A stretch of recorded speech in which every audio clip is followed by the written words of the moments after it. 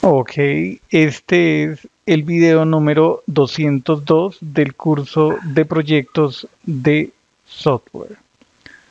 Ya tenemos el formulario para crear clientes. Esta es la vista que se renderiza en pantalla, en este modal. Podemos capturar el documento, los nombres, los apellidos, el teléfono, el correo electrónico y también Em, la dirección. Vale. Entonces, vayamos. Antes de continuar, eh, sincronizaré el repositorio local con el remoto que está disponible en GitHub. El enlace está en la descripción de este video. Perfecto, hay una actualización inclusive para GitHub Desktop. Aquí nos avisa Ok. Esperemos que cargue ahí la interfaz.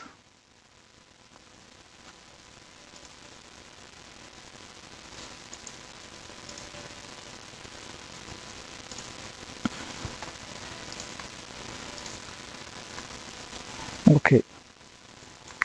Entonces, regresamos aquí al código, esta parte esta sección de la tabla la podemos colapsar. Eh, lo mismo el modal. Nos concentramos en la operación de agregar datos, que es esta.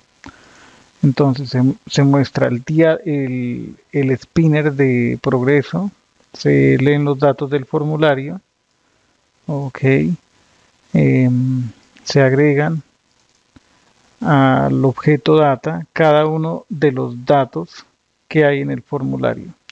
Ese será el objeto que se envíe como objeto JSON hacia el servidor. Aquí cambiamos esto por cliente, operación post. Si la operación es de tipo actualización, utilizamos el método HTTP put.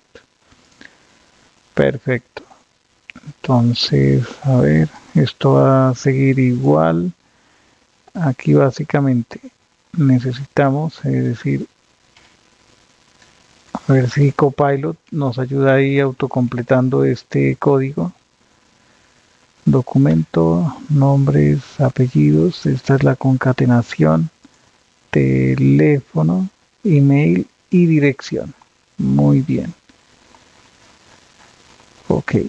Em, adaptación de código fuente, adaptación de evento Summit para crear un cliente. Después de esa adaptación necesitamos una operación de ruta que nos ayude a crear un cliente. Listo. Eh, vamos por la ruta cliente, el método post. Y este es el método que genera Copilot para crear eh, un registro de tipo cliente. Aquí vamos a colocar el nombre crear, el nombre de la función. Y a continuación aquí nos, aquí nos están todos los datos. Está nombre, apellidos. Sería, a ver, tratemos de esta forma. y documento Esperemos un segundo. Aquí, en nombres. Apellidos. Luego bien en plural. Tiene que quedar en plural. Entonces, nombres, apellidos, teléfono, email.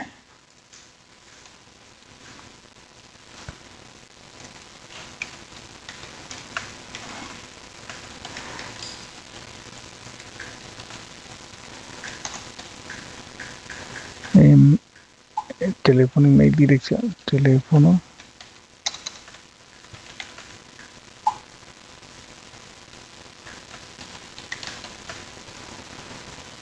Eh, teléfono, email, falta aquí la dirección.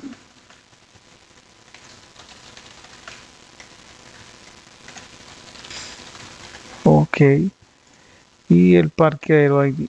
parqueadero, este campo, parqueadero ID, data.get, parqueadero ID. Ese dato nos está proveyendo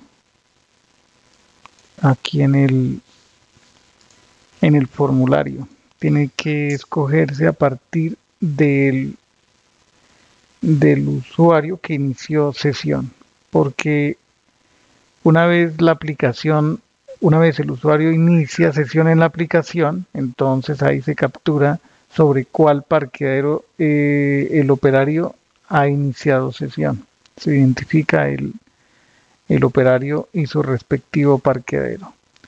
Entonces, de forma arbitraria, voy a colocar aquí data.parqueadero ID y colocaré 1.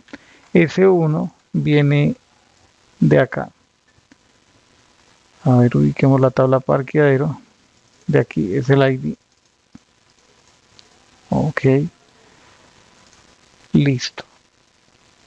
Ya está entonces llenemos estos datos queda así el nuevo ID, documento, nombre, apellidos, teléfono, email, dirección y parque aero ID es la información que se crea eh, operación de ruta para crear un nuevo cliente. Intentemos crear un registro de ese tipo. Ok crear. Escribamos aquí un número de documento que no exista. Por aquí está la base de datos vayamos a la tabla cliente. Eh, escribamos aquí 10101010 nombres. Digamos Edgar Pérez teléfono 301 123 un número ahí al azar el correo electrónico.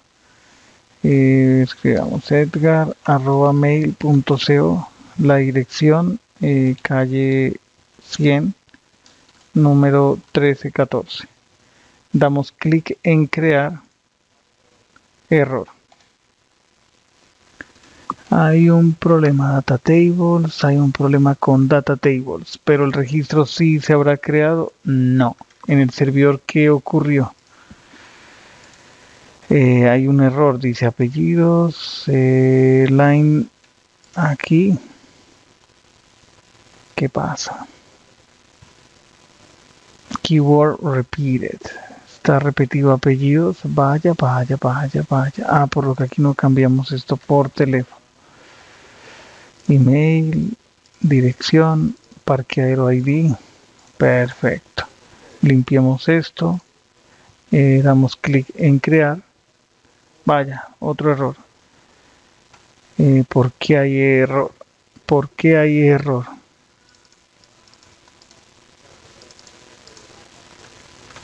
¿Cuál podría ser el problema? A ver, coloquémosle aquí un print para ver el contenido de la variable e. Listo, eh, crear, aparece error.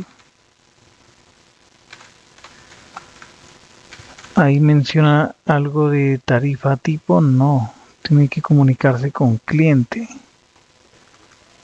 Verifiquemos el código. A ver. aquí en el archivo cliente.html él está si se va por cliente y es de tipo post